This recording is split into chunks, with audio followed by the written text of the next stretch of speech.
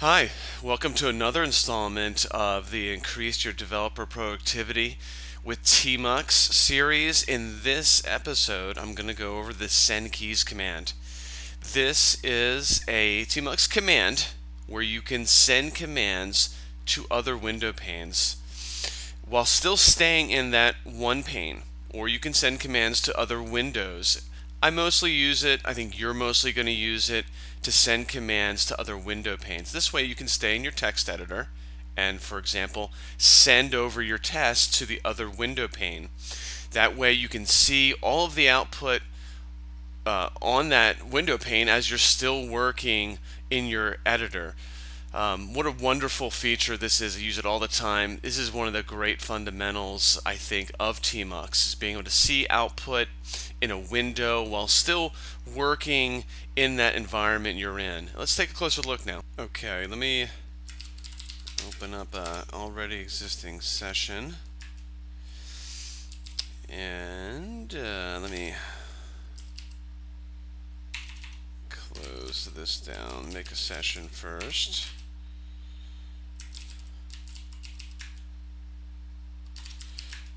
Close it down, clear out the screen. So the tmux send key, keys command is simply a tmux send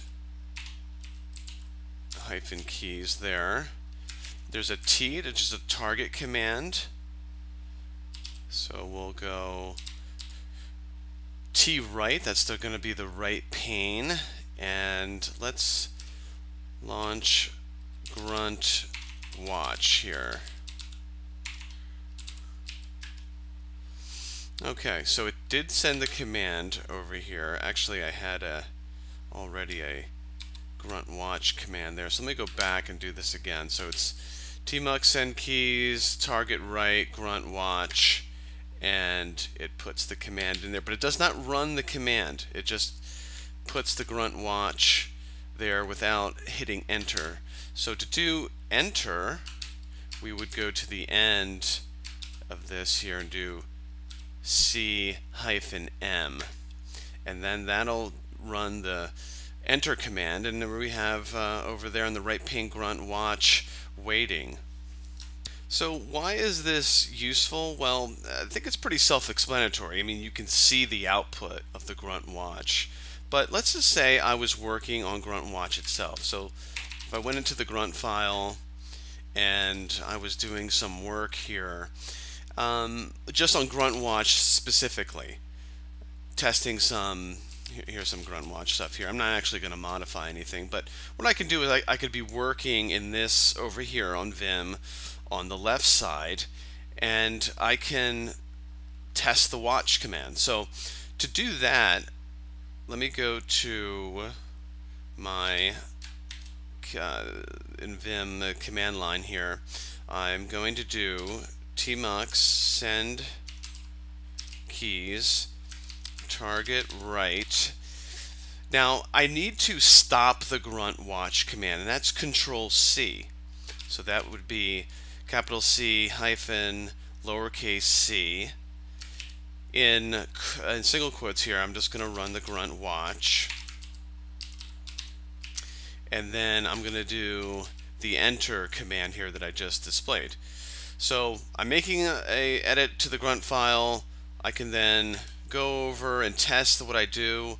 It'll first stop grunt watch and then over over there on the right side then it starts grunt watch again and I'm still I still stayed in the left side here I'm still in the text editor uh, let's say I make another change then I can go back and run the tmux send keys that I just ran, which stops grunt watch and then starts grunt watch. So it's great. I can see the output, see if there's any errors. Did I make any errors when I um, edited the, the, the grunt file here? Now how about sending to another window, not just window pane on the same window? Uh, to do that, let's uh, let me shut down grunt watch here, and I'm just going to send over Control C over there and shut down. You can see over there it's now shut down. Now to send to another window, let me go to the second window here and I have a left, uh, again a vertical split and a left and right pane. So let me go back into here. Now to do that, what I would do instead at the target switch here is to do 2, which is window number 2 dot, let's just say left. And I want to start grunt watch there. I don't need to run the control C. So let's go over here and see what happened. There we go. There's grunt watch running in the second window on the left window pane. There's also a top and bottom um, commands that you could run depending on how your window panes were set up here in the second window. Now the T the, the tmux send keys command is so important to me that I made a let me shut down grunt watch there is I made a alias to it. Um, actually it's a bash function. Let me show that to you. It uh, so the when I just do ts command from bash, it will do a tmux send keys target right, um, uh, uh, control enter there. And uh, I highly recommend that you also uh, do this. And I will have uh, links on the article to my some of my bash shortcuts, my bash aliases. In this case, it's a it's a function. And uh, let's use it here. I'll give it a demonstration. So I just do a TS. Let me run. I'm going to run into the AG command. That's the Silver Searcher. It's an excellent tool. Recommend that. Let me uh, look inside the code base for SAS. Okay, so over here on the the right side there, that it did a search for SAS. Didn't find anything, but uh, there this TS function in bash is a little limited though. Like if I were going to do um, something like this I was gonna search for SAS um, plugins or something. And I was using quotes. This will not come out right um, also because it needs to be an AG command here. It doesn't get escaped properly uh, what you would have to do in that case is to actually escape these lines and then you'll get that output better. And that's using again that bash function. If you use the send keys command you will not have that problem.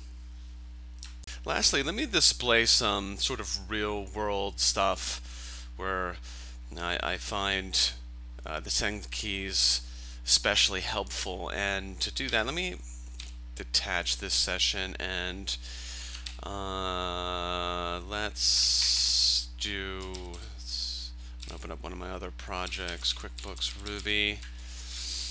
And here I have um, set up in my in Vim a leader command that will run tests in the right pane just by hitting leader command RL. And you see on the right command I'm running specs right there in uh, the right side panel. And it's it, it's again just so useful to have the applet, especially when there's errors that you can read and look at. So while you're over here working on your code, you can see exactly what that error was. You can search through um, other files where that error may be.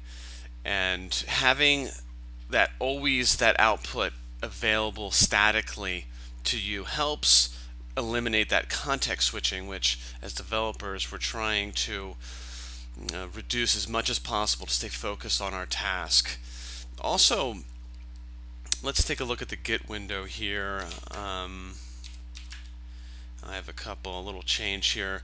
Now let's say I was going to make a git commit here and I'm using aliases here. GCA means git commit all.